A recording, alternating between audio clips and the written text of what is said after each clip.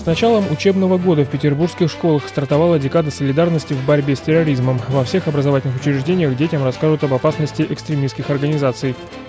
Во время декады педагоги объяснят ученикам, как правильно воспринимать информацию. В первую очередь речь идет о всемирной паутине. Детей научат безопасно пользоваться информационными ресурсами и не поддаваться пропаганде экстремистов. В свою очередь родителям напомнят, что доступ несовершеннолетних в интернет желательно контролировать и расскажут о том, как фильтровать информацию. Что такое хорошо и что такое плохо, им будут рассказывать и показывать представители российского движения школьников, общественной организации, созданной прошлой весной по указу президента. Мы можем хвалиться уже тем, что в летний период, несмотря на отсутствие детей, мы смогли обучить довольно большое количество педагогов, которые вернутся в школу и будут работать а, вожатыми. Руководители движения уверили, что объединяют в своей работе лучшие методики работы с детьми. Сейчас 22 школы города уже являются пилотными площадками РДШ, и более 50 образовательных учреждений заявили, что хотят сотрудничать. Готовы включиться и подростковые общественные объединения.